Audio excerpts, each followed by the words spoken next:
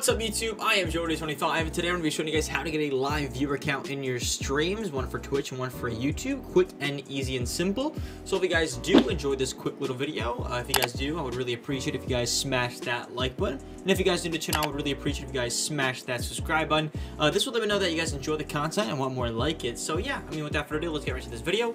Uh, so to get a live viewer account for YouTube and Twitch, all you gotta do is go to Google Chrome, go to your Streamlabs OBS dashboard. Um, and then once you guys get into OBS, you're to see all these options. You go to all widgets, right?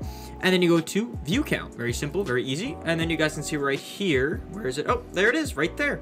Uh, so all you want to do is just copy the widget URL. Very simple. Copy that. You're to go onto your thing. So let me just uh, hide this viewer counter for you guys. Make a brand new one.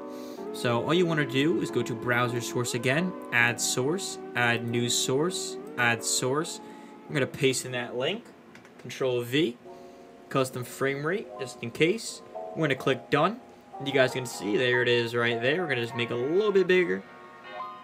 And there you go. I'm just going to drag a little bit lower. There you go. Now, you're probably wondering, wait, Joey, but what if I don't want, like, Twitch or I don't want YouTube? Alt it. Look, ready? There you go. That's it. Just hold Alt. Hold Alt if you don't want it. You know what I'm saying? Just literally hold the Alt tab and whatever you don't want, you can do it for YouTube. You can do, you can do this side. You don't. You just want Twitch. There you go.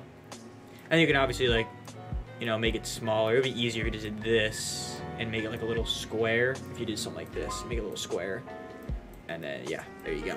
But yeah, that's how that's how you do it, guys. Uh, that's how you get a viewer count in your stream for Twitch or YouTube. Doesn't matter. Uh, that's gonna wrap it up for this video. Hope you guys enjoyed this quick little video on how to get a live viewer count in your streams. That's gonna wrap it up for me. And other than that, I'll see you guys in the next one. Peace.